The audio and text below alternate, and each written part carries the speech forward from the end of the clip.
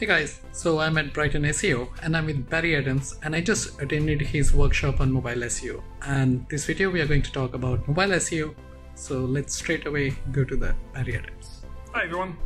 Hi Barry. So why don't you start with what do you do? I'm Barry Adams. I'm an SEO guy, primarily technical SEO, and I work with a lot of news publishers and e-commerce websites to try and make them perform better in Google and get more traffic. I thoroughly enjoyed your session. So Thank you very much. And my questions are around that. So what is mobile SEO? How is it different than the SEO that we know of? Uh, I think a lot of it is the same as classic SEO for desktop websites. I think just in mobile context, you need to be a bit more aware of what people see on the screen and how Google evaluates your website because mobile, of course, offers a different user experience than desktop, and you have to be aware of that. You have to make sure you optimize your website for mobile experiences, but in such a way that you're not hurting your rankings. Um, it's, it's very easy to create mobile experiences that have less content on it, but that also means Google has less information on your web pages to use for ranking purposes.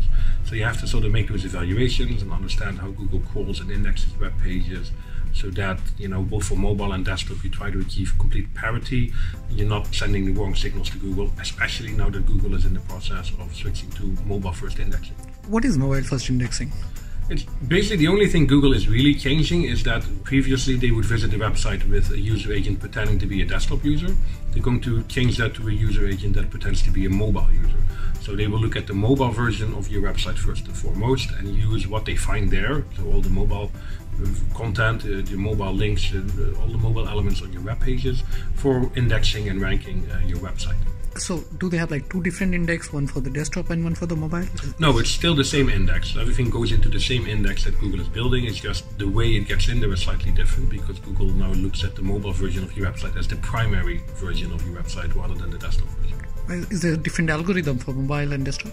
It's the same algorithms more or less. I think there's a little bit of leeway in that, for example, content that you hide in opening divs and things like that on mobile, you can get away with that, whereas on desktop, Google doesn't want you to do that and it tends to devalue the content a little bit. Hmm. But other than that, I think most of the processes and the algorithms for mobile will be the same as for desktop. So why does the ranking on, let's say, desktop side is probably in the top three, and then the mobile side for the same keyword, the ranking is on the second page? It could be that you have a slow loading website that for mobile users might not be as good an experience as desktop users. It might be that mobile tends to be a bit more personalized based on where you are location wise versus desktop, and that might be a factor there as well.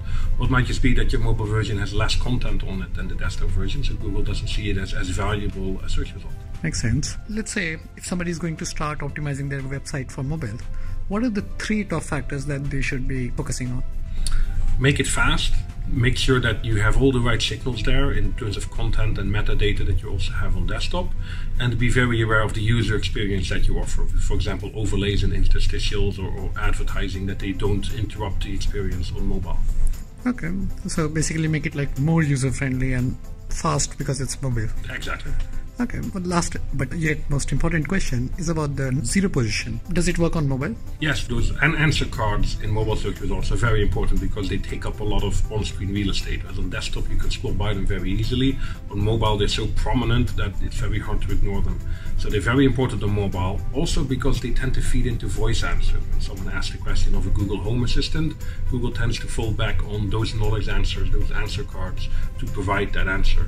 So it'd be very important to try and tap into that, and that comes down to finding the right questions that people could ask of you as, as a provider, as a service provider or a product provider, mm-hmm. and building pages, content pages that specifically answer those questions, like good how-to guides, good, good best-of guides, good explainers, and then making sure you cater your content there with use of like tables and bullet point lists to try and capture that knowledge answer result if you can. Okay, uh, how to get that position? You need to have a fairly good ranking on the first page of Google anyway to claim it. And if someone else has the knowledge card ahead of you, it can be very hard to kick them out of that particular knowledge card. So you have to sort of become better at it, like provide better content or build better links to your to your website as well. And you can use a little trick for that. If you have a query that uh, you see a knowledge card answer appearing, like a website.com is listed there, you can amend the query with minus website.com and you see which website would be next in line then to, to get the knowledge card, and hopefully that be your website. In which case, you know how far or more or less you have to go to to claim that knowledge card yourself. Oh, that's a neat trick. Um, thank you, Barry. It You're welcome. Awesome. Bye bye. Cheers.